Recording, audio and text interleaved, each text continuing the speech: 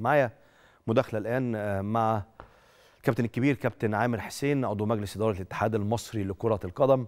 يا فندم مشرف ومنور. الله يخليك يا بينورك وكل سنة وحضرتك. طيب رمضان على الابواب أهو وأنت شغال قبل رمضان والنهاردة سمعنا كلام كتير أو شفنا كلام كتير جدا فيما يخص تأجيل كثير من المباريات أو تعديل في مباريات الدوري الممتاز. بس بداية يعني عشان الكلام ما يطولش كل سنة وحضرتك طيب. كل سنة وحضرتك طيب. اتفضل.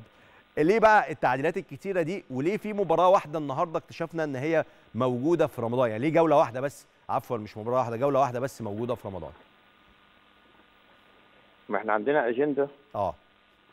آه اللي هي هتبدأ بدري شوية تمام. من 13 مهم. ناخد الأجندة الرسمية من 18 ل 26 تمام. طبعا في جولة 31 مهم. وبعد كده بعدها في آه، آه، جولة أفريقية للأندية بتاعتنا.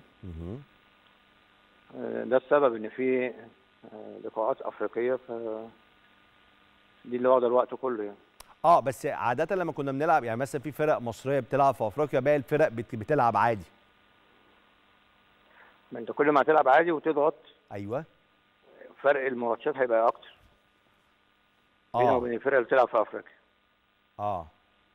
فهمت. يعني مثلا الأهلي وبيراميدز بيلعبوا في أفريقيا فيوتشر بيلعب في أفريقيا. والزمالك بيلعب. آه والزمالك بيلعب فأنت الباقي انت لو ضغطت الفرق اللي ما بتلعبش آه. هيبقى الفروق ال- بين عدد المباريات هيبقى كتير جدا بين الفرق اللي مش مشتركة في أفريقيا وبين الفرق الأربعة. مفهوم مفهوم. طيب كابتن عامر أنا سؤالي دلوقتي وهيفضل سؤال بيتكرر عليك كل شوية معلش يعني. هل الدوري هيخلص في ميعاده ولا مش هيخلص في ميعاده؟ يعني يمكن أنا منزل لغاية الجولة 30 آه. بكل المؤجلات اللي فاتت من يوم 12 تمام.